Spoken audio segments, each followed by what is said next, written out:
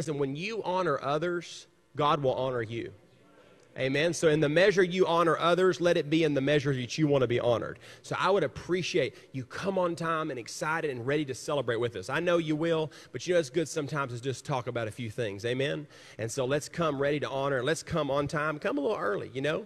If nothing's started yet, then you, you'll have a little bit of time to pray for this place and pray for us and all of us together. Amen? So come a little early and, and we'll do a little ding reminder to, to let you know and not to forget. Amen? Well, I want you to turn with me to Exodus chapter 20, and we're going to hop over into something, and then we're going to hop over to something else and we're going to we're going to just kind of talk about the life of honor something happened to me a couple services ago and the lord was stirring me about honor and I've already said this to you what you honor will increase. What you honor will increase. If you want to see increase in any area of your life, honor it. Honor that, that particular thing. You know, if you honor the Lord as Jehovah Jireh, my provider, you'll begin to see provision. How many of you watched that happen? Well, thank you both. How many have watched that happen? When you recognize Him, I remember several years ago I began to feed, just kind of meditate on my God shall supply all of my needs. And you know what? He showed out as Jehovah Jireh. I had two vehicles break down at the same exact time. How many vehicles you have? Two. All right. So that was a little problem. but I had already been recognizing, he had actually already led me into that passage of scripture and I was feeding on it and stuff. And so when it, the things happened to me, I didn't freak out. I didn't like, oh God, what are we going to do? You know, I, was, I, I began to just really uh, speak from my heart. And, and, and I called those bills paid in full, and God paid off all the bills. One, one mechanic took so long on one of my vehicles, he told me Merry Christmas and gave me my vehicle back. so, you know, anyway, either way, the things that happened to me turn out for the furtherance of the gospel, right, Josh? It's you don't know all the things that are going to happen to you. And God didn't say all of them were good. See, we would choose everything that doesn't develop us at all. We would choose the path of least resistance. There is none, none of you that would say, Yes, trial and tribulation, serve, serve me up, extra helping. No, you wouldn't choose trial. You wouldn't choose tribulation. You wouldn't choose pain. You wouldn't choose suffering. But listen, all those things are to build you. James told us this. He said, Listen, let the testing of your faith have patience. Let patience have its perfect work. All right? Let your faith be tested that you could be perfect and entire one nothing. Maturity doesn't come through going through nothing. Maturity comes through going through the fire. Maturity, you think about the, the, the, the, the, potter, he forms that vessel, right? To be this, this beautiful vessel, but the vessel will hold nothing unless it goes through the fire. There is a tempering process that makes that container valuable and useful for its intended design. And God has an intention and a design for you, and He knows the fire necessary to make you the container that He has purposed you for. Well, thank you both. I'm telling you, there's something happening in the spirit today. It's time to wake, awake to righteousness. God needs you to awaken to his way of being and doing. And we've established something, and one of the things we've established is that righteousness is, is uh, right standing before God. We know that. How many heard me talk about righteousness? Just a little bit, you know. But righteousness is also God's way of being and doing. God actually has a way of being and doing. One of the scriptures in the Word of God that I like, it says, He did not seek them in the they did not seek him in the way that he had ordained. He was talking about how that when they were wanting to go, go after the presence, David had a heart to go after it, but he didn't have an understanding of how to carry it. And we want to go after the presence of God, but we have to have an understanding of how to carry it, how to host the presence of God. And one of the things is we have to be a place of honor. We have to be a place of value. And one of the things the Lord put on my heart today, I hadn't heard him talk about this before, but he said revelation is spiritual value. Revelation actually gives spiritual value. Okay? And so it takes the Holy Spirit to give you eyes to see. It takes the Holy Spirit the, the, the, it, to, to give you revelation knowledge. And then you will have spiritual value. So we need to pray and say, God, give us the spirit of wisdom. Give us revelation. Ask Him for revelation because right now you cannot create spiritual value in people. Somebody's going to help me today. You cannot do it with your own strength. How many of you get irritated and frustrated? Stuff is trying to frustrate me this morning and stuff like that. But the thing is, and so you know what we do? We just shift and go give glory to God. We just have to shift because listen, your kids are going to do crazy stuff. Your spouse is going to do crazy stuff. There's people at work, they're going to go nuts, and you're going to be like, what am I working with? These people are crazy. In life, there's going to be stuff that happens. Are you going to be that little frog that mom talked about that they popped the BB and pop the BB, pop the BB, and then you just suck all this heavy stuff up, and eventually the frog could no longer hop because it was every little BB, every little fence, every little irritation, every little distraction. The enemy will give you a whole slew of distractions. We try to be still in the presence of God in this place, and we try to focus on the Lord, and then, oh, you know, this and that and the other to distract. And so you either in that moment, you either let that be a and be a BB that weighs you down, or you just, hey, know how to shift back over again. And then eventually the devil understands he's going to keep shifting. He's going to keep looking back, looking back at Jesus. He's not going to, he's not going to let their, their attitude be his attitude. He's not going to let their dysfunction be his. He's going to just keep putting his eye back on Jesus. You may come and try to grab my attention, but I'm going to keep turning it back up to Jesus. You may come and try to be a distraction, but I'm going to keep turning it up to Jesus. Things happen to you. They do. They did. They have. They will. Thank you. They do, they did, they have, they will. And it's not that something never happens to you, and I've got the victory because nothing ever. We had, we, grew, we came from a background of people that are talking faith, talking faith, talking faith, and sometimes I don't know if they meant it or not, but it's almost like if I have a lot of money, I've got faith. If I have a wonderful, glorious time and everybody can see how wonderful everything is for me, then I must really know God and I have faith and I'm a spiritual giant. Listen, there, Paul went through hell. What kind of faith did he have? He got chains, he got beatings, he stonings, he got kicked out of places, and he'd go back in and do it again. Get kicked out again. Let me tell you, he went through it. So if he was determining everything in his life by ease and lots of money and lots of wonderful, pleasant things, then he definitely wasn't in the will of God. But listen, I found out when you're in the will of God, stuff happens. But there's something that happens within you that's greater than what's happening outside of you. Hallelujah. Greater is he that is in me than he that's in the world. I'm a world overcomer. I overcome by the blood of the Lamb.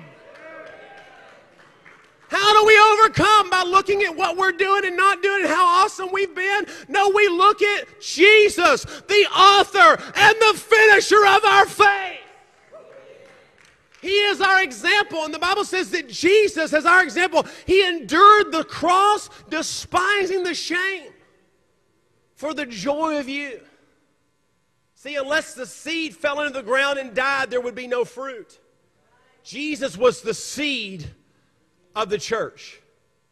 Jesus was the seed that had to be planted, that had to die for the harvest of the church. You are the product, you are the fruit of Jesus, that righteous seed. And as he is, so are we now in this world. And actually, that translates says, as he now is. Not as broken and even on the cross, but he's in glory. And the Bible says we're seated together with him in heaven. See, you need to come to Revelation. Listen, you need to go listen to that online. I'm telling you, you don't even know what you're missing. Because I'm you, you got to go over it. No, I'm going to go over it. I got over it. I was getting like grabbed on the, I was driving and watching that on live stream and stuff. I, I couldn't get here in time, so I said, I'm putting that on. Why? Because there's value. And what you value, what you honor will increase. And so, listen, if you can honor other people when they're preaching, God will raise you up and preach through you. But He's not going to raise you up when you can't honor the other people. Why do we have to pray for Guatemala? If you'll pray for Guatemala, He'll touch your house. But don't you expect him to touch your house if you can't weep and cry for Guatemala. God says, I'm raising up a church in this house that's going to be a house of prayer for all the nations. Everyone in this room is ready to give your life for something. You have this innate desire in you to live for something beyond you, beyond yourself, beyond us four, not more. Why do we get miserable when we're self centered? instead of Jesus centered. The gospel is not your best life now. The gospel is Jesus Christ and Him crucified. It is no longer I that liveth, but Christ that lives in me. And see, that's the reason that there's an issue with us priding ourselves on serving our own desires. And some people aren't going to like this, but I can tell you from experience that serving our own desires will make us hellacious lives. The root of sin is idolatry. It's idolatry. Homosexuality is idolatry. Fornication, adultery is idolatry. Covetousness is idolatry. Greed is idolatry. At the root, at the base of the thing, is that we have now fashioned a God that we are worshiping before Him. That was too few claps. We now have a God that we fashioned and are worshiping before Him. God never made us to serve our own desires because, listen, the flesh will never be satisfied. I'm telling you, it will never be satisfied. See, I deal with the same devil you deal with that tries to deceive and to kill and to steal and destroy me. He wants to pervert our minds. He wants to deceive our lives. He wants us to be self seeking and touchy and fretful and resentful. But love is the total opposite of that. Love pays no attention to a suffered wrong. Love does not insist in our own rights and our own way. Love says, Lord, show me your way that I would know you. There is a path to righteousness, and the Lord has laid it out, and He's laid it out His precious word. We got to get back to the psalmist, what the psalmist said. He says, The word, your word is a lamp unto my feet and a light unto my path. Your word have I hidden in my heart that I might not sin against God. My God, how do you know which way to go unless you get under the lamp, unless you get under the light, unless you have revelation knowledge? That's why Paul said it. He outlined in Ephesians. We're going to read it a thousand times, Kelly, over and over and over. Give us the spirit of wisdom. Give us the revelation, the knowledge of you. We're not just learning the Bible. We need the revelation knowledge of who you are because they've told us a lot of things that aren't you. I've been in church for 40 years. You think I'd be excited, but that might not be a good thing. Some of you have told you every Sunday, we'll keep telling you, is you'd be better off at Cracker Barrel sometimes in some churches because they didn't give you the revelation knowledge of Jesus. They gave you the, revela- the, the, the, the, the, commandments of men. Trying to get us to do something that we don't have revelation light on. And I can tell you to do it, and I can tell you to live it, and I can tell you make you feel bad because you're not. But until the light comes, you can't see anything different. And this church needs the Holy Ghost. And the Bible says, You seek me, you'll find me when you search for me with all your heart. This church needs a value for the Word of God, a value for the Spirit of God. Like Moses, he said, If your presence doesn't go with me, I'm not going anywhere. You say we're blessed, you're saying we're your people. Well, God, if we're your people, you got to go with us. Otherwise, we're not any different than anybody else. See, a life of honor looks like a life of His presence. A life of honor looks like uh, waiting on the Lord. What could be more honorable than waiting on the Lord? We read the passage last week, and I'm going to probably read it a thousand times too or more. But you know, you know about Mary and sitting at his feet. She chose that part that couldn't be taken away from her. But the greatest honor was that she would wait on him. But Mary was doing a work for him. I got to feed Jesus. But Mary's like, I got to feed on Jesus. I got to work for Jesus. But Mary said, I got to worship Jesus. I got to sit at his feet. What's the higher priority? What's the what's the what's Jesus wanting? He liked what Mary did. So I think we ought to look at what she did, right? I thought I think we ought to put that first because he said this part's not going to be taken away from you. Matter of fact, wherever this gospel's preached, I'm going to have them preaching of what Mary did because there is a secret in the waiting. There is a secret in the being still and knowing he's God. We're not in that big of a rush to wait to hear him speak. When you get in a rush, look at me, eyeballs on me. One, two, three, eyes on me. I bind that fourth grade teacher thing coming on. Let me tell you, there's value in the waiting. When you rush, you get messed up. When I rush, I get messed up. You know, I read one of those fun scriptures, Sister Alma, this week in Proverbs. It says, When you isolate yourself, you seek your own way. That's another reason we're gathering together because, listen, on your own, you get eaten like that animal on the Discovery Channel. All by myself. Your lunch. Yeah, we're figuring it out. We are figuring it out. You're like, I'm strong, I can do this, and out you go, and they're, oh. Because the devil's seeking to devour you, and he says, I know if I can get him away from his brothers. I know if I can get, him, or get her away from her sisters. I know if I can get her away from the church. If I can get her away from the word. If I can get her away from the presence of God. If I can get her distracted and busy about a lot of stuff. I've seen well meaning people that love God. They get busy wanting to have things they've never had before, and it started out an okay thing, but then it became an idolatrous thing, and now they're not even serving God, living for God. Their marriage got divorced. All this other crazy hell happened because why? They got off of Jesus. They got out of his presence instead of waiting before the Lord for the distraction, for the, the strategy, instead of waiting on the Lord for his choice for your life. I know what it is. I can talk about this because I've done it. How many of you have gotten busy and picked your person? How many of you have gotten busy and picked your car? How many of you got busy and picked your plan? I've had some good plans and they turned out terrible, Heather. I mean, I can, I can tell you so much about what I've done that was stupid and how I've had to eat the fruit of my own way. How many could tell some tales? but we're not here to talk about, we're here to talk about Jesus. And He's the one that'll bring you out of it all. But there's an R word that we don't hear in church a lot today, and it's repent, for the kingdom of God is here. Repent. Change the way you think to accept the will of God. In other words, God has a way. He has a path of righteousness, and He's waiting on you to say, hey, no more my plans, no more my ideas, no more what I came up with, no more of our cool productions. Only your way. Show me. I don't need anything else. I don't need anybody else. And when you get to that place where you don't have a will, you will know God's will. I want to know God's will, but you're asking everybody else. I want to know God's will, but you're running to and fro trying to find it, and God's will is peace. God's will, Colossians 3:15 says, let the peace of God be the umpire that settles all the questions that arise in your mind. It doesn't mean you're not going to have stuff hit your mind, but it doesn't have to hit your heart. You're not in unbelief when it hits your head. You're unbelief when you let that thing get in your heart.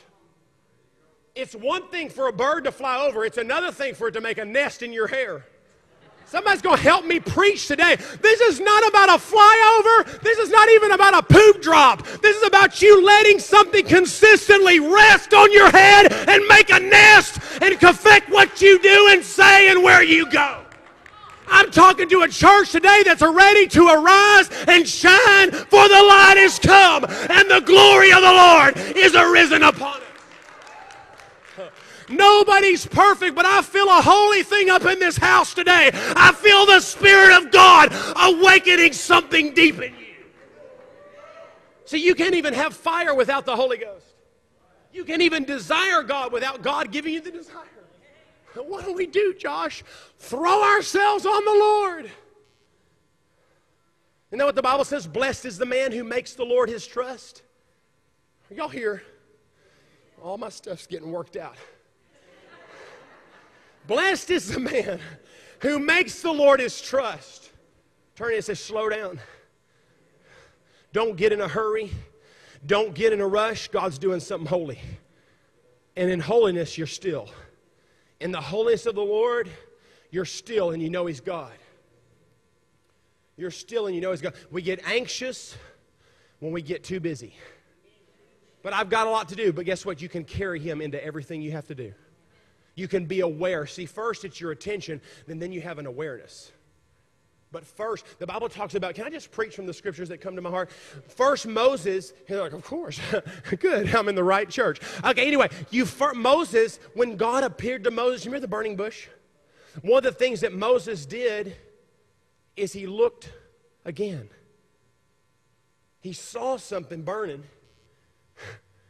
but then his head turned to look again. And the Bible says, when the Lord saw him look again, he said he began to speak to him. You see, you can just look and go on by. But when you intentionally turn again to look at him, and you turn again, and again, and again, the Lord begins to speak to you because what you honor, you value. This must be important.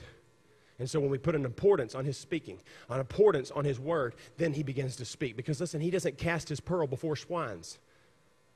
He doesn't cast his pearl before swine. Right? Because why? Swine would trample a pearl. They don't know the difference between a pearl and a piece of poop. They'll rub in it all.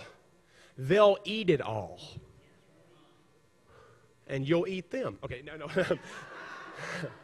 it's all right. It's all right. We'll come over here. One girl's like, no, I don't eat that. I know what they do with it. Okay, anyway. I see what they take out of them restaurants for the pigs to eat, okay? They don't know the difference between poop and pearls. They value both of them equally. They'll probably try to eat both, right? They don't care. Edible, unedible. The Bible says you can be a vessel of honor or you can be a vessel for common uses. Because if you want to be a vessel of honor, pursue the, you're going to pursue certain things. Philippians talks about Philippians talks about some people. He said that you know that their end is destruction. Their God is their belly. They glory in their shame. But all that didn't start it. They set their mind on earthly things. It didn't start with sign up, sign me up for destruction. It started with I got distracted. The enemy never has to plan your destruction if he just can plan your distraction. He just wants to get us too busy, independent. See, America emphasizes, we live in a nation that I think it's more challenging to serve God in this nation than it is China. China the Chinese people are praying for America, not the other way around. We don't want to be like you, America. Talks about they don't even deal with some, they, they talk about we don't have some of the, the, the sexual promiscuity and stuff like that in the church, in Chinese church. It's not an issue. They have a whole different context of what the gospel is. And so they don't struggle in some of the ways the American church struggles. We are in a place of overload, overstimulation. The enemy has been able to suck us into every little, every little device and every little f- social media platform. We are so distracted. He's like, I got, I got these people on autopilot. Y'all are getting quiet now. It's the truth. It's happened to me and it's happened to you. The enemy doesn't have to do much. We talk about the devil doing this and the devil doing The devil's got people on autopilot, honey. Sometimes you hear people talk, you'd like to think that the devil is personally working in their life, that he has time for just them alone.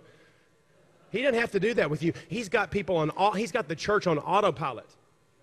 He's got us hooked to our devices and our plans and our agendas and our comfort zones.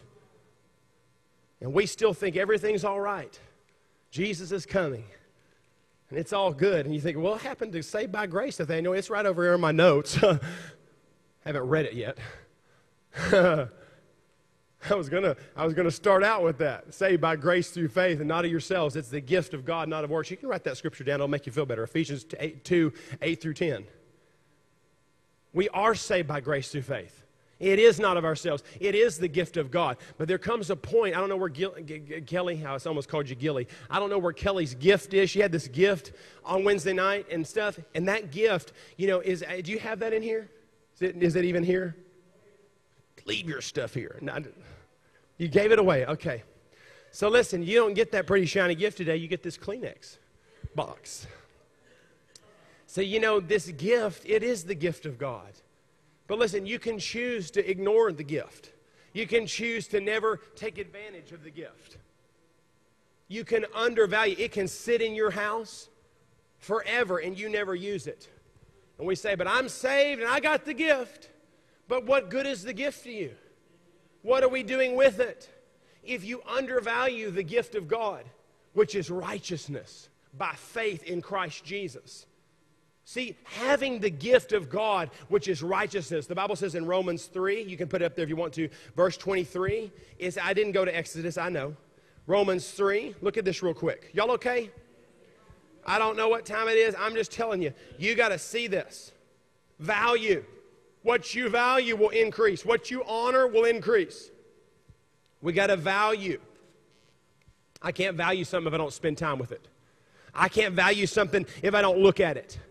If you're going to value the work of the cross, you got to look at the work of the cross. If you're going to value the blood of Jesus, you're going to look at the blood of Jesus. You got to talk about the blood of Jesus. You're going to value the Holy Spirit, you have to talk to the Holy Spirit. He's in there. How many times has he been in there, Sister Liz? He's in there, but I don't acknowledge him. He's in there, but I don't become aware of him. I don't give him my attention. Say, Holy Spirit, it's a good day. Good morning, Holy Spirit. What do you have to do today? Last time I checked, Jesus was the leader and we were the followers.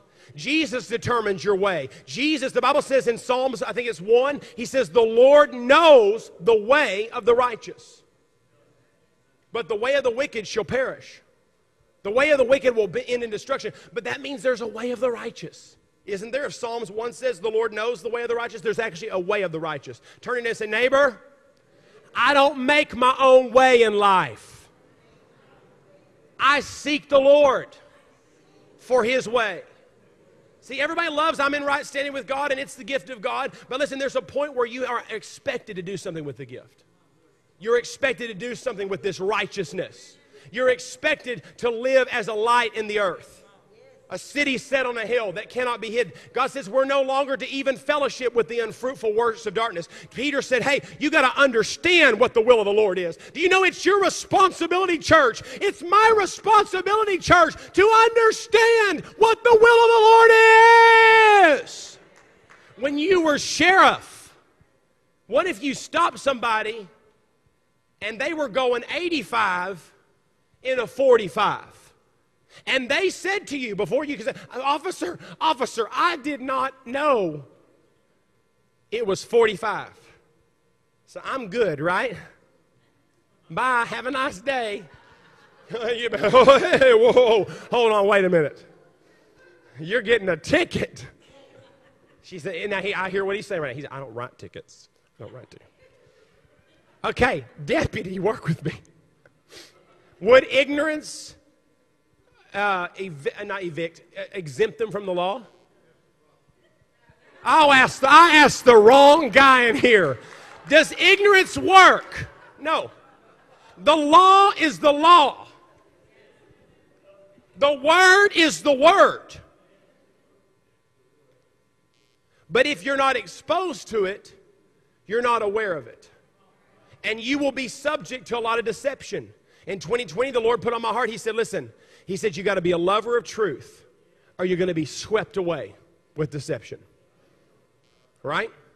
There's some people that they still are gripped by fear because of what people told them. Why? They didn't have a foundation of truth.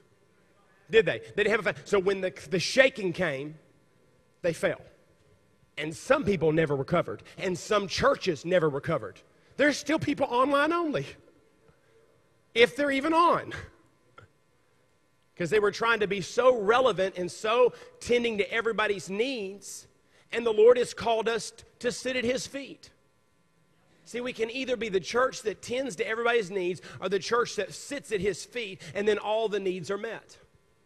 And then you'll have the strategy, you'll have the direction, you'll have the answer for a hurt and dying world. But it doesn't come from going out and putting them first. It comes in coming and sitting before His feet and tending to Him that's the greatest thing that we can make our slogan tend to Him.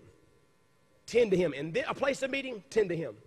A place of meeting, go after God. A place of meeting, ask Him, Lord, show us your way that we would know you. Let's be a people of honor. Let's be a people of the presence that values God's presence because what you honor will increase. What you value, you will see in your life. The Bible says that those that honor me, I believe this is, this is, uh, trying to remember the reference real quick. Ecclesiastes. He says, By those who honor me, I will be regarded as holy. But by those that dishonor me, those that dishonor me will be lightly esteemed. So it's the people that honored him that had the proximity to him. You think about when Jesus walked on the earth, there was something about Peter, there was something about John, James, there was something about them that they were allowed a closer proximity to him than some of the other disciples. Judas didn't get the proximity to Jesus that uh, Peter did. What's the difference? Is Peter lo- more loved by Jesus than Judas? No, Jesus loved Judas. I mean, Jesus loved Judas to let him. Do you think Jesus didn't know he was dipping into the treasury? he knew all that. He knew he was stealing from him. He's in the presence of Jesus and he's stealing. So just because we get away with it doesn't mean he doesn't know and doesn't mean he doesn't care. It's all right. It's fine. I'll come over here. I said, just because he doesn't, just because he allows it, or he lets you feel like you're getting away with it, doesn't mean he doesn't care. He cared. He knew what that was doing to Judas' heart. It put Judas in such a position to continue to do that in the presence of God. It put him in such a position that he had no problems going out and, and, and selling Jesus out. It matters what you do in the presence of God. You, your heart can be hardened. Let me know that?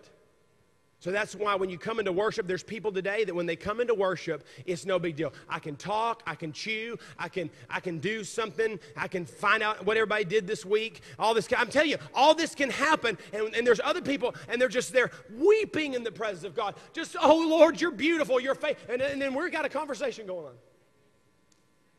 And there's a time for conversation. There's a time to visit and fellowship. But listen, when the presence of God is to be honored, listen, you want to be engaged. You don't want to miss his face because, listen, their, their face is not going to do for you what his face is going to do for you. You can't live on their face, but you can live on his face. All right. It's tight, but it's right. He says in Romans 3, um, is that the one I want? I don't even remember. Oh, I just was going to read you the scripture. It talks about those that receive the abundance of grace and of the gift of righteousness will reign in life through Christ Jesus. Come on, it's a gift. Somebody say it's a gift. But we honor the gift. You know, Romans 5:17 tells us, that's the verse I was looking for. It tells us it's the free gift of righteousness. Right standing with God is a free gift for you to receive not by your works, but by faith in Jesus. Amen? How many receive that gift of righteousness? How many believe that gift of righteousness? How many you talk about it, think about it, look at it, consider it? You ought to. I love how Kelly was bringing out imagination. How she says she's learned. You know, Pastor Glenn has talked about our imaginations. Your imagination is from God. The enemy wants to use it to think of all kinds of horrible things, but God wants you to use it to picture Jesus. And so she was talking about how I picture Jesus on the throne. Turn to you and say, This is good for you. Because, see, how many of you noticed ever, ever before your imagination will take you into an experience? It doesn't start with, with, with, it starts in your head before you ever experience. There's people that they say, I don't know how we got here. Your imagination, your thinking. As a man thinks in his heart, so is he. And so, one of the ways that we live a life of honor is that the, the, David said this. He said, I always put the Lord before me. On my bed at night, I lay and I think of you. Come on, many of that's purposeful? So you're going to set purposeful time because you want a life of honor. You want a life of just surrender to the Lord. So on purpose, God, I'm going to set time with you. On purpose, I'm going to spend with you. On purpose, I'm just going to sit there and I'm going to wait. I'm not going to keep giving you my prayer requests. The Bible says He knows everything you need before you before you ask it. But do you know the devil would love you to spend the whole time on what you want and what you need? Listen, in His presence, you're going to find out, and I'm going to find out that what we want is not really what we need.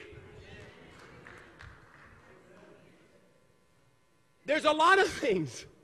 I'm going to talk to my guy over here. There's a lot of things that I thought I wanted, and I'm like, thank God you didn't give that to me. I mean, would wave a hot hand in the air like you really do care. That's why the Bible says, delight yourself in the Lord, and He will give you the desires of your heart. Have you ever thought you said, Oh, I'm just craving this, and I just want this, and then you prepare it, you get it, you go get it, and you eat it, and you're like, Ugh. Have you been there? That was gross. That wasn't even that good. I've heard my mom before. She's like, let's get some chocolate. I mean, heard, you know, my mom liked chocolate and stuff. I mean, she didn't have it all the time, but she liked chocolate. And she said, let's go get us some chocolate. And how many times, Dad, did we hear Mom after we ate that, that wasn't any good? I didn't even need that. I didn't want that. Didn't even like it. Don't look at me funny. I won't know it's you. So many times we think, man, this is going to fulfill me. But listen, God is greater than your own heart. He knows what will satisfy you. You may think you need this lady, but God says you don't even need anybody like that. You may say, no, this is the guy for me. We finish each other's sentences. But God knows his heart. You may say, hey, this is the job. This is the one I've been waiting for. And then that door goes wham. Oh, God, where are you? Protecting you is where I am. Shutting that hellish door so I can open a door and do exceedingly, abundantly, beyond all that you could ask or think. When is the church going to trust Jesus and wait on the Lord? The psalmist says, Wait on the Lord, he'll renew your strength. Wait, I say, on the Lord. He's going to cause you to mount up on wings like eagles. And you're going to run and you're going to not be weary. You're going to walk and not be faint. You know, we came from a background where everybody's like, say something to it, say something. Hope you say the thing Jesus is saying. Because a lot of times we got in a rush to just say something. Well, let me go get my scriptures on healing and throw it at it. Well, let me go get my scriptures on prosperity and throw it at it. You don't even need a relationship with the Holy Ghost for that. Because I've got this book and I'm just going to use this book to get what I want. Listen, that's not a life in the Spirit. That's not the way of God. That's not the way of righteousness. The Bible says righteousness is peace and joy in the Holy Ghost. And when God gives you a word, He gives you joy with it. When God gives you a word, there's peace that passes understanding and joy that's unspeakable and full of glory. Why could Peter get on the water and walk to Jesus? Because he didn't just get a word from a Bible, he got a word from Jesus' mouth himself.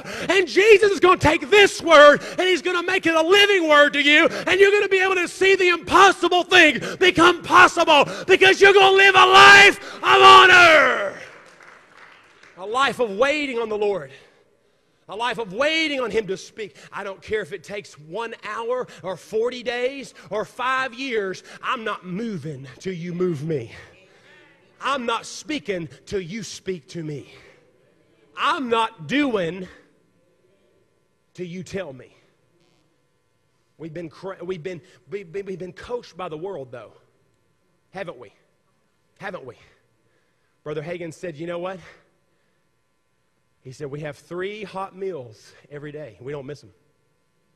And then we come and we get one, you know, maybe, probably cold snack a week on Sunday because that's our duty. And we expect to survive on that. He said, There's no wonder. No wonder. Three hot meals, never miss them. There are things right now, I think we used to call like a rock in your schedule. You wouldn't let that be disrupted. How many know you have honor for certain people? Wave your hand if you got some honor for certain people in your life. There's things you've drawn a line over, and there will be nobody to disrupt it. We will see a side of you that we've never seen if somebody disrupts it. I'm telling you. One of my pet peeves, I told, told Lauren, is like, when you, when you tell, when, and I'm not, have been, I haven't been perfect on this, but there was something that this year, you know, there was a time that I had to be in a certain building. And I gave multiple speeches to my children about we will be there at this time. Because I am paid to do that. And I've got to be in there. And this doesn't revolve around just you, because we got to be there. we could not be there, and they could also say, well, we don't need you anymore. Right? But there's a lot of things that we're making sure we're there at, and they're not that important. But it matters that they're with, we're, we're with our family. It matters that we, we prioritize our husband and our wife. Some of you right now, you're hanging with people that have a single mind. And you can't hang with mar- you can't single people and married people have a whole different world. And some of you are, are trying to be happily married with divorced people, talking to you about how horrible your person is, how what a drag marriage is. You can't hang out with those people. Some of you got to pick some different running buddies because listen, their attitude is becoming your attitude. Their priorities are becoming your priorities, and they're not God given priorities. You need the presence. That's why you got to get yourself just before the Lord before you go into work. Because listen, there's people that have their own ideas and their own plans. You wouldn't believe how many people in this, people, in this community are so miserable. They make it look like it's wonderful. They make it look like a thing to be proud about. It's not proud. Love is not proud. Love is not proud. Love does not rejoice in unrighteousness, but when right and truth prevail. And you say, well, what is righteousness? Everything that God says in here. Well, I don't know. You got to look. You have a responsibility. The church's responsibility is to know the will of God. Nobody gets off the hook. We've had an American mentality where it's like you just come into the little drive through, they're going to hand you the bag on Sunday morning, and then you can get it, eat it, and then run on. This is not McDonald's and I certainly ain't loving that. And this is not Burger King. You aren't having it your way. It's Jesus. Thy kingdom come, thy will be done on earth as it is in heaven. Woo! Rabashatelebeye. Hey. Show me your way, Lord, that I may know you. I know I got to quit. Show me your way that I may know you. I want you to stand with me because it helps. Show me you're, I want everybody to get quiet. Get quiet. Don't get too rowdy. I'm telling you, there's something holy happening here. There's some, don't you dismiss it. Don't act like we're done. We're not done yet. There's something holy happening. And listen, all you have to do is yield. Close your eyes and yield to the Lord. You've heard enough this morning to say, Lord, you're holy, and I want to recognize you above others. Some of you in this place, it, you would be honest. You say, Nathaniel, I'm not where I, I was with the Lord. I can tell you right now, me personally, I am not satisfied with where I'm at. I know there's more. And I'm not going to stop right here. One of my biggest thing is I like to go. And it's time to slow. Slow down. Sit down. Sit. Wait. Church, we're not going to be sorry for waiting. We're not going to be sorry for sitting at his feet. I'm telling you what, the, we could have a prayer line right now and pray for all the stuff you want to pray for, but I tell you what, this is the answer. One thing is needed, Mary, and I'm not taking it away from you. That good part. There's other parts, but this is the part that Jesus says, I'm not going to take it away from anybody. God's going to give you answers and He's going to give you strategies. How long is it going to take? I don't know, but He's worth the waiting.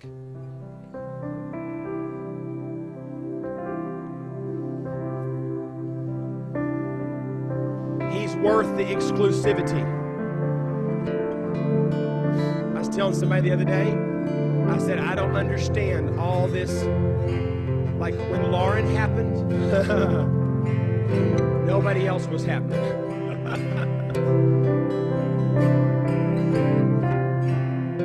I'm comparing it to God. I'm not talking about the natural right now. I'm comparing something. It's like when Lauren, when I knew anything else, anybody else.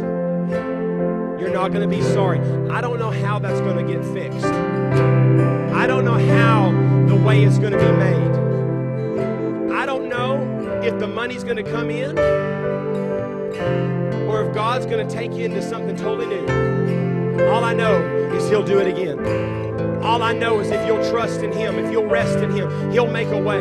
You're going to have to surrender this morning. There's some people in this room, you have to surrender the answers you want to have. You're going to have to surrender the strategy that you think is so wonderful. I can see some people in this room, you're at your whiteboard with all your strategies, and you want God to just come down and bless everything you've drawn and come up with. And God's not going to even use your whiteboard. Because for number one, all of his good stuff wouldn't fit on there. He's going to do beyond what you could ask or think. So the Lord would say to you today, church, will you come and bring to me what's in your hand so I can give to you what's in my hand?